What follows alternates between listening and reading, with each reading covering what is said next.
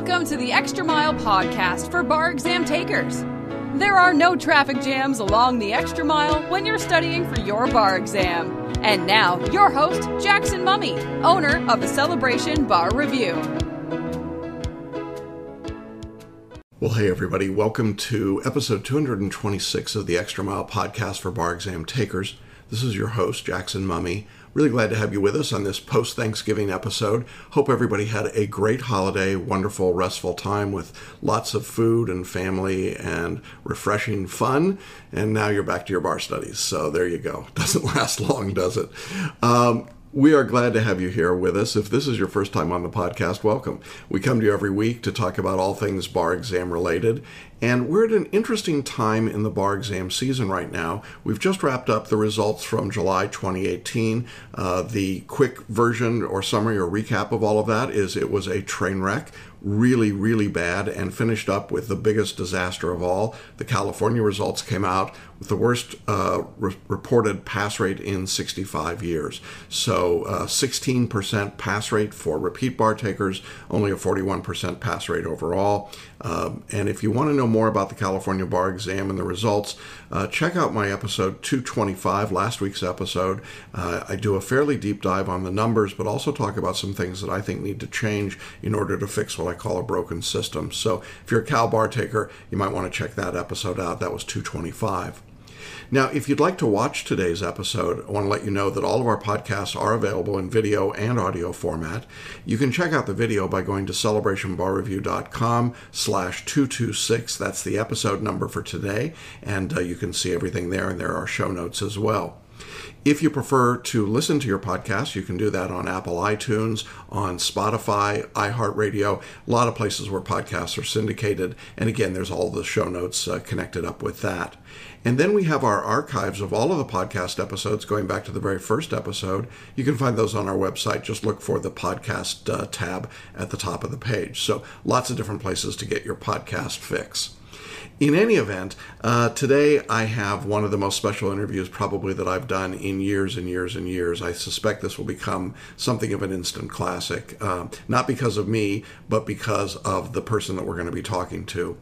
I'm going to be speaking with uh, a man who took the California bar exam for over 14 years. He started in 2004 passed in July 2018. He took the exam more than 20 times and he passed after all of those years and all of those attempts. And it is a remarkable story from an absolutely remarkable man. And uh, I know you're going to want to stick around for that. Regardless of what bar exam jurisdiction you're in, if you're feeling a little, you know, post Thanksgiving uh, kind of down and in the dumps, and oh my God, I got to go back and study. Maybe you're a bar repeater. Um, it's really tough to do that, and I think that this interview is going to inspire you uh, incredibly. Uh, it inspired me just talking to Glen, and I think you're going to really enjoy it. Now, before we jump into the interview with Glen for today, I do want to let all of you know that we've got a very special live training opportunity coming up this Thursday night. It's November 29th at 7 p.m. Eastern. That would be 4 o'clock Pacific time. The training is titled Do Something Different make the next bar exam, your last bar exam. And during this training, we're going to look at the steps that successful bar takers follow in order to pass the bar. It's a step by step roadmap. We're going to go through each of those steps, show you what you've got to do, supplement it with case studies of successful students who've used each of those steps, and then we'll do a live Q&A at the end to answer any questions that you've got. Now, participation in this training is completely free, but you do need to register in advance, and you can do that in one of several ways if you're here on the uh, video uh, podcast, just scroll to the uh, the show notes and you will see a link to uh, claim your free seat. Or you can do the same thing in the show notes for the audio. Or you can go to our website at celebrationbarreview.com slash webinar. So that's forward slash webinar and register there, claim your seat for Thursday night, the 29th at 7 p.m. Eastern. Now, if that date and time do not work for you, we also offer an on-demand daily version of the same content. The only difference, of course, is that there's no live Q&A at the end, but you're invited to send your questions to me through the webinar, and I'll reply by email. So no matter how you get this uh, information, we think it's life-changing and important for you to participate. It's why we make it available for free, and we really want you to, to join us. So hope you'll come out and uh, check it out November 29th, 7 p.m. We've got a big crowd already registered, so I'm looking looking forward to a great uh, session and uh, lively Q&A at the end. So I hope you'll join us for that. Do something different. Make the next bar exam your last bar exam. Now, when it comes to doing something different, the story that you're about to hear, Glen Winters, is a bit of an anomaly.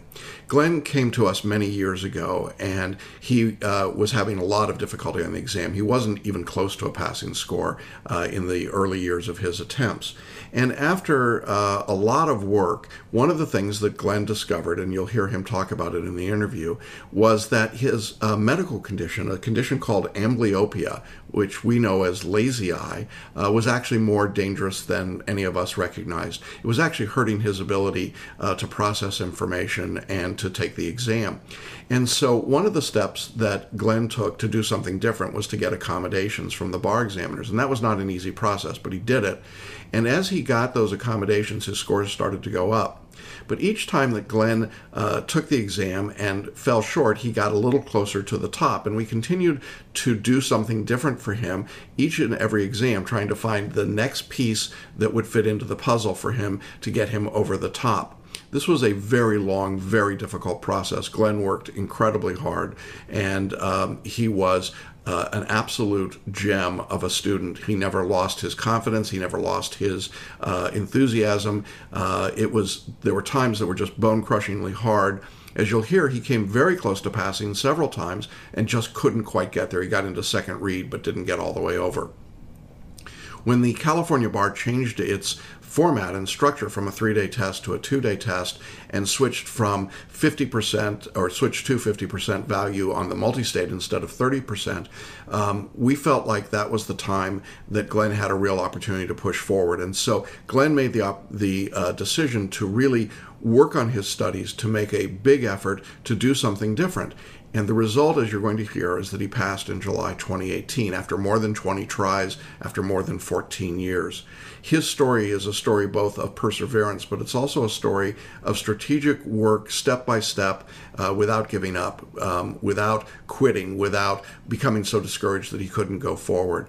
And I think as you listen to Glen talk, you're going to realize what an extraordinary accomplishment not only it was to pass in an exam when the uh, repeat pass rate, as I say, was 16%, but for people who are over 20 times taking the exam, there are only a handful of those people that ever pass. I've been very fortunate to work with a few of them uh, in my 30 year career, uh, but these are very special stories. And so I don't want to keep you from it any longer. I want to share with you a really remarkable, very humble, very genuine guy, uh, someone that I'm very proud to call my student and my friend, Glen Winter. Well, hey, everybody, welcome back to Hanging Out with Successful Bar Exam Students. And today we have a story that I have waited a very long time to tell, and a student that I'm just so delighted to introduce to you. Um, welcome to Glen Winter, uh, newest member of the California Bar. Hi, Glen, how are you? Good, how are you? Good. Doing good. I bet you are doing good. I, I don't even know that good describes this, does it?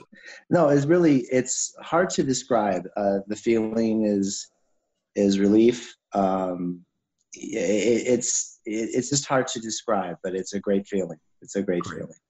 Well, you and I know what our audience doesn't, so I think we need to just sort of let the cat out of the bag right away. When did you first take the California bar exam? Um, first time was 2004 in July. Okay, long time so we, are, so we are talking about a 14 year odyssey for you. You didn't sit for every administration of the exam. Took took some time off. But do you recall how many no. times you took the test? The between between 25 and 24. A lot, yeah. Okay. Just let's say a lot. Okay. So I want to be clear to our audience. You're now looking at somebody who's been through this exam more than 20 times, and you passed in July 2018 when the pass rate for repeat bar takers was 16%, and the repeat pass rate for people that have taken the exam double digits was less than 1%. Good, good doesn't even begin to get to it, does it? What a journey this has been for you. Uh, it has been. And when I first started, I didn't know what was wrong. I, I graduated from high school with honors. Um, I always excelled in math. I had issues with reading, and I didn't know why. Um, I was diagnosed with amblyopia when I was 12, and I didn't think anything of it. I could have had surgery to correct it, but didn't know um, during the process of taking the exam, I never could finish. I would panic. I never could finish the exam. And obviously, that's bad. I would get scores, high scores in some essays. I had a 75, had an 80 on a Civ Pro um, question once. But then the next question, I would get 50 because I had a half hour left to complete the question, obviously, because it took me too long to write the question beforehand. Um, that was an issue with me. I didn't know what was causing it. Maybe I was ADHD. I mean, it seems to be going around now. Who knows what? I, I didn't know what it was. I started looking into it. Uh, long story short, I ended up with uh, headaches in the hospital one day, and they did like an MRI. I was sent to a, a doctor who questioned me and says, "You know, you have amblyopia." I says, "Yeah, I had it when I was 12. I knew I had this." He says, and somehow the exam came up. It wasn't for me, and he said he brought it up. You know, what's going on in your life and stuff. And I, I told him I've been taking this exam, and he says, "You know, you can get extra time for that." And I said, "Really?" He says, "Yeah, you have amblyopia. There's a visual um, accommodation." So lo and behold, I got referred. This is all through my insurance through to a neuro ophthalmologist. And the neuro ophthalmologist said, yes, you should be getting extra time for the exam. And this was in 2014. This was 10 years later. Right. And I would say the last six to uh, six examinations, six to seven examinations, I've been knocking on the door of this exam because I had the time to finish and was able to, that, along with other things we can talk about, got me through. But yeah, I was wasn't I was not able to pass this exam previously. It was not possible. I couldn't finish the exam because I only read with my right eye. If you can see, my left eye is kind of lazy. I have perfect um, depth perception, but no convergence. So my left eye just kind of rags while my right eye reads. So I have prisms in my glasses now that allows me to kind of trick the eyesight. Uh, if I had surgery, um, it would create a possible double vision at this age when they could have corrected it. So long story short, this is what we did, and it and it and it now put it put me in the ball in the ball game where I wasn't before. I wanted to you know provide that information to explain that yeah. um, if if I had taken it so much this many results, I probably wouldn't have done it because you know I wasn't gaining anywhere. I discovered that there was that problem I was having. I think it's important to understand that this for you this journey has been about finding various things and then uh, discovering barriers and figuring out how to get past that barrier and moving to the next one and the next one and the next one and for you this this barrier of the physical uh, was a big deal and when you uh, uncovered that for the exam and started to request accommodations was when we started to see your scores go up uh, there was clearly a, a big jump at that point but it wasn't quite enough i mean you said knocking on the door and you came really close a few times in that period of time, but never quite enough. And um, I think a lot of people would probably have given up long before you did. Can you talk a little bit about why you never gave up, why you, you hung in there and continued to work? I think because I know I'm intelligent and I, am able, obviously, I had high scores. You know, an 80 is a very good score on this exam. I don't know it's, you know, so having 75 80s, I, in each each facet of the exam, I got high scores. I would get 75 on a PT. I would get a 75 or 80 on an essay here or there, and um, the multiple choice. I usually perform pretty well on that and pass that. Um, so it was just putting all three facets together. Uh, you know, I, I, come from a background where we my family values education. We're, we're you know we you know failure is not an option to me. It's just I don't give up either but failure is how I believe we learn. And I learned something from each exam uh, that I use to my benefit the next time. And I think I mentioned to you, I don't know what to do now. I, I this is success. What do I do? What do I learn from this? But yeah, I was learning along the way. Your success. I, I, let's let's be real here. Um, so, um, yeah, I, I think it's important to share with our audience that you and I worked together for a very long period of time, and th- these were there were moments of extraordinary discouragement because you were coming close but even before that when just we just couldn't figure out what was happening and then it started to break open for you and, and step by step little bit by little bit. And you just kept at it. And one of the things i could sort of count on was that if you hadn't passed you were not going to give up. You were not going to quit. You, you did take some exams off. I think you and I talked about uh, the other day that uh, you know there were a few exams where you didn't sit in July because you wanted to have a holiday season that wasn't crazy studying for the bar, right? I didn't want to have the disappointment of seeing yeah. my name not yeah. on the pass list. To be honest yeah. with you, that was part of it too. Um, and I know a lot of you know, your listeners will, you know, you know what that feels like right now, and or in the past. And I, I just this exam I just knew there was a way to crack it, and and I wasn't going about the right way. And I was thinking this morning about a, a food pyramid and how that's kind of been inverted over the years. How you had milk and meat on the top, and now it's inverted. I really think, and you're onto it too with your writing style as well. That there's got to be a different approach. What's out there is not working, and for me, it was practicing the exam. It was actually doing the not writing essays. I didn't write any essays for this last exam. All I did was I was practicing the um, looking looking for the different conflicts and and you know you know like you don't like the word issue but issues or what what if I was missing something I would go back and I would, instead of spending a day on a subject I may spend two or three days on the subject but until I got it and I think it a practice was more important than maybe at the bottom of the pyramid should be memorization. Absolutely. And you you weren't memorizing. Um, you used photo reading, correct? Yeah, I did, and I believe I've been meditating since I was 14. It's a big, you know, I, I don't do it every day. I try to, but during the exam time, I, it was it was almost a daily routine for me, and you know, to get into that mode wasn't hard for me. And understanding, I understand the fact that we internal, we actually know everything we see. It's there in the subconscious is drawing it out. And so I did do photo reading for the MBE and for the essays. I was constantly doing that. I think that's very helpful if they believe that works for them. Work. I think so. I think it works. Yeah, and one of the questions that you and I had to discover, and we went to Paul Scheele at Learning Strategies, we weren't sure because of your eye condition, we weren't sure whether or not you would be able to photo read. Getting the blip page, seeing that that sort of uh, you know soft focus was not something that was really right. necessarily possible. And one of the things we discovered was, yeah, in fact, you could do that even with really effectively one eye doing most of the work. You had mentioned earlier about with me, it was psychological. And I think getting over this hump, one of the things I did, I don't know if we talked about it, but I, this, the last two times, um, the last three times actually, I went in with an attitude of, very, I was very confident. I think it's important. This exam is very intimidating and um, you know they'll say one hour remaining you know and it's just like what was that you know it's it's just it, it breaks your concentration there's a lot going on in that exam and to go in there with oh please don't test test corpse. Oh, you turn the page. I don't want to see this. No i was ready like please give it to me. I want to see this question.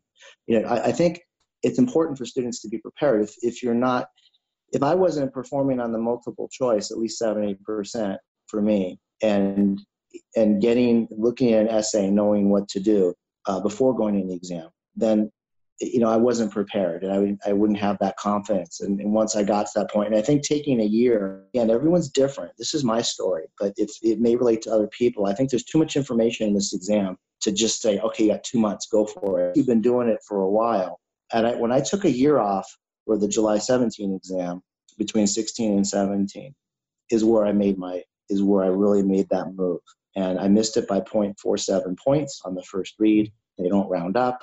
Um, I was mm-hmm. told to appeal it, as you know, I did appeal, but um, I tried to let that go, and and and I was encouraged not to, but I knew I had to because, and I want to express this to also your listeners is we are responsible for our own actions, and you're not going to be sitting with us in the exam. I'm only there with my earplugs on, and it's it's our responsibility to correct what's going on with us or what we're not doing right. I was scared to look at the subjects I was weaker at. I didn't believe that they weren't fun to look at. I hated them, um, but I had to. I had to like face that. I guess facing the Darth Vader in the in the in the cave. Yeah. You know, Star Wars. You have to you have to face. I had to face that.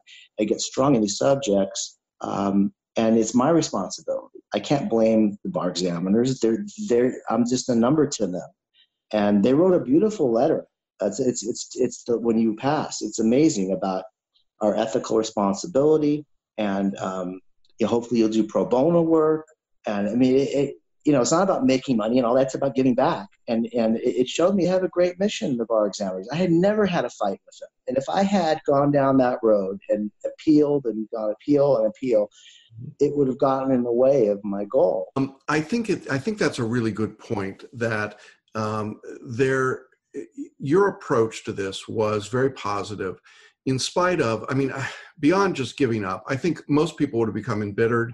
Uh, you came incredibly close didn't make it. Your multi-state score kept going up and up and up and up uh, i mean well over 144 and you know it was just like ugh, ugh, you know how close are we going to come again? You know how close? And you just kept this amazing equilibrium that said you know what i'm disappointed but i'm not giving up. I'm going to keep at it. I'm going to keep pushing. What can i as you said what can i learn? How can i improve? And so you were constantly looking for improvement in what you were doing. And I probably learned more from you than you learned from me, to be perfectly honest, Glen. Um, I think that uh, you demonstrated what I think of uh, if I wanted an attorney to represent me, I want somebody who just won't give up and who is relentlessly looking to improve. I, I mean, mm-hmm. that, that is the essence of what a great attorney should be. And we knew, you and I both knew, that you were capable of practicing law that was never really the issue. The question was, how do we demonstrate that on the exam? And so we worked through a lot of things. We worked through photo reading and meditation. We worked through the writing process. We, we talked about the timing and getting the accommodations and how to make all of that work in a way that, that was meaningful. And, and your family was part of this process as well. I know your wife was totally into this. No, yeah, absolutely. I mean, one of the things I mentioned to you, um, you know, she just has a small business, and her, and her main employee said to her, "Congratulate, tell Glen congratulations, but also congratulations to you." and you know, it's so important. You know, it's kind of like I'm in denial, and I'm sure other applicants. We really, I don't see how it affects family members, and yeah. I know you have a, a, a video and, a, and, and and something to the family in your course, and it is important. It's really hard on family and friends, and you know, yes, they don't know what we're going through, but you know, it is a very selfish journey, no matter what we how we put it. And I tried not make it not that way. And I have to say, I didn't put oodles of hours and put like you know four hours a day. I I don't I want to stress that it doesn't have to be this this like uh, a drudgery or something to endure. It, you know, you can make it fun. You could do it little bits at a time. There's a lot of material but at the end of the day they're only testing a little bit so it's not everything and yes you kind of have to know i believe it's the practice where i was focusing my time because i have a family i have a job i was working i only took a week off before the exam didn't have a lot of time to sit to, to do that and i've also gotten feedback from other people that having less time in their life to do this exam is has been beneficial than having more time available yeah. and being able to procrastinate and i did was to improve my score. And, and, and ultimately, that's what I was learning along the way. It's like, how do I, every, when I sit down, am I doing something? I ask myself, is this what I'm doing now? Is this beneficial? Or am I just reading an outline that's not going to have that effect? But of course, you got to look at the outlines and, and know the material. Yeah, I think that's absolutely true. And I think, you know, the task expands to fill the time.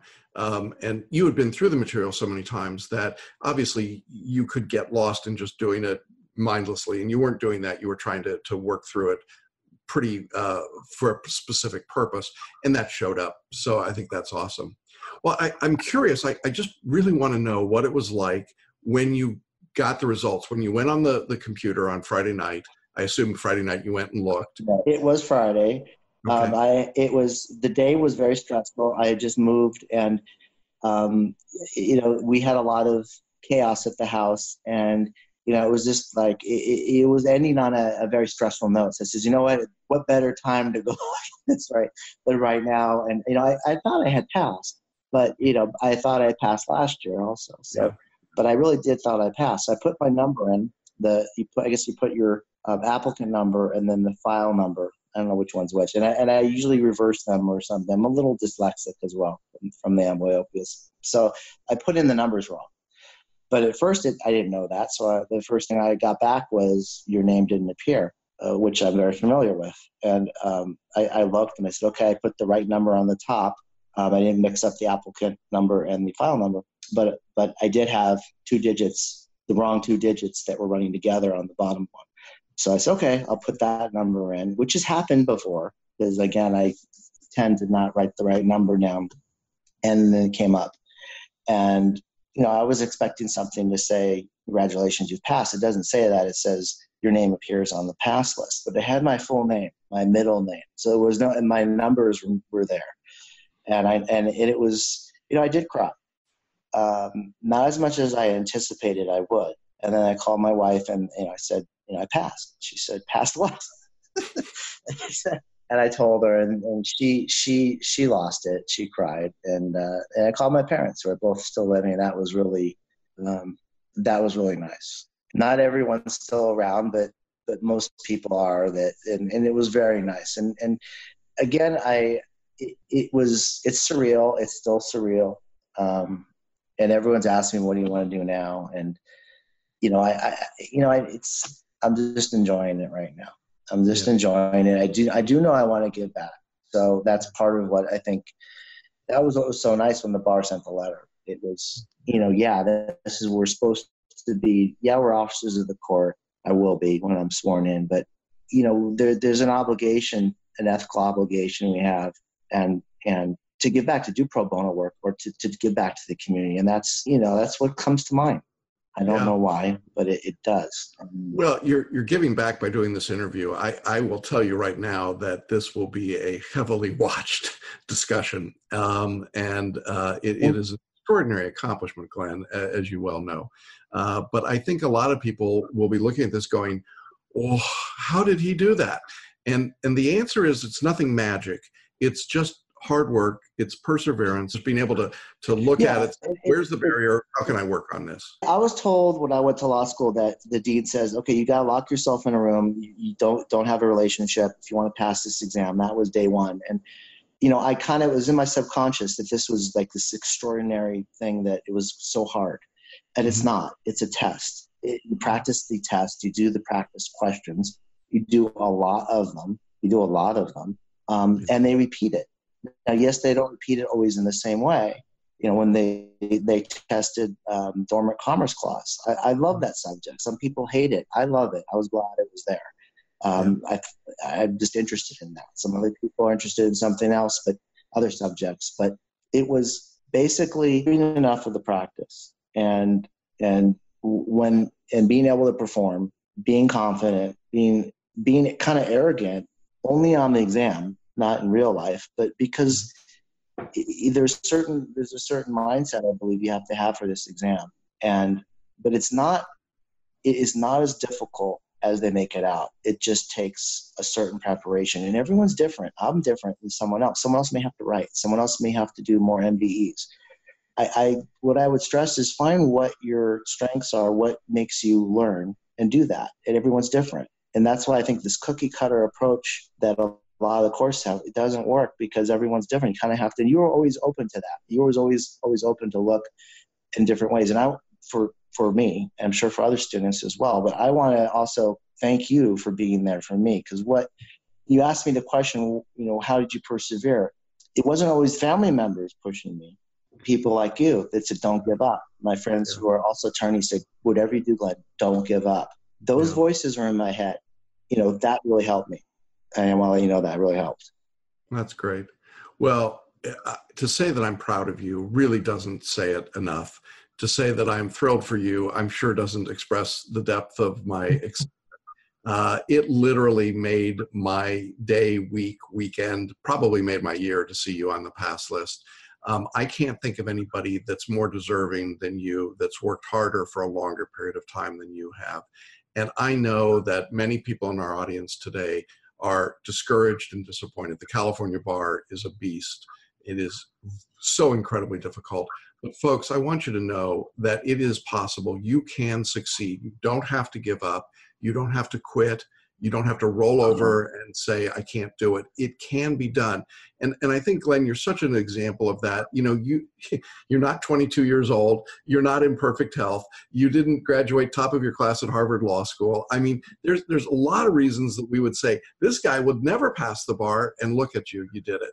After, after all of those barriers and hurdles. And what a, an outstanding testimony to your character and to your family and your friends and your support. Um, I am really, really honored that we were part of the journey. Um, it's it's one of the highlights of my professional career, to be perfectly honest. So I think you should enjoy it for a while before you decide what you're going to do. I mean, I, I, think you should just enjoy the fact that you don't have to pick up your books and start studying again. I mean, that's got to be such a great feeling, right? Yeah, I don't know what I'm going to do. I'm going to have to get a hobby now. I know. Yeah, yeah, find a hobby, man. Go fishing and play golf more. No, yeah, it's it's going to be nice. But I, I also, yeah, I think what you said about the uh, the, the students out there, it's it, it's it's doable. It's doable. Um, you know, don't give up. Don't get discouraged. It's a tough exam. Um, there's no, you know, it's it can be done, and uh, it's a fair playing field. It really is, and um, you have just as much a chance as anyone else, anyone else out there taking it. Um, and and you can do it. You know, I did it, and I know I know others people can do it. That's awesome. Well, listen, Glen, thanks so much for being willing to share your story, to be this open and, and transparent. Um, I, I, promise you, you will hear from people. there will be lots of people that want to uh, congratulate you and, and find out more about your story. But um, we wish you all the best. I know that uh, uh, your spirit is one of, of of a, a, generous spirit and you give back. And uh, uh, I hope that uh, we'll continue to see you around and, and supporting our existing students. But um, I want to join everybody on our team and everybody in our course and our students in congratulating you on really a remarkable, extraordinary accomplishment. Um, and we could not be happier for you. Thank so you. thanks for coming on and being with us today. Thank you. Thank you and thanks to all of our audience. Uh, I hope you enjoyed this one as much as we did. That's all for this week. We'll see you again in our next episode. Thanks, everybody. Bye bye. Well, that's our episode for today. I'm not even sure what I can tell you after you've heard that uh, because Glen is so remarkable. His story is so amazing. And if you're feeling discouraged, if you're feeling down, if you're feeling angry about the process or the system, if you feel like you just can't do it, I really hope you'll use Glen's example of what it means to just stay with it and to keep after it. Um, it's such an extraordinary accomplishment and a great thing in his life, and I hope that it's an inspiration for you no matter where you are in your journey. Now, I do want to remind you before we sign off today that we're going to be showing stories like Glen's and talking about what it takes to be successful by doing something different, making the next bar exam your last bar exam. It's free live training. It comes up on Thursday, November 29th 7 p.m. Eastern. That's 4 o'clock Pacific time. You do need to register in advance. We're filling up. We've got a big crowd already registered for this training. And you can register on the show notes or by going to celebrationbarreview.com forward slash webinar. Well, thanks everybody for being with us this week. I hope that you enjoyed that interview as much as I did. Uh, we'll be back to you again next week with more great stories and interviews and information as we begin to point towards the 2019 exams now. Hope everybody has a great week, and we'll see you along the extra mile and on the pass list. Bye bye.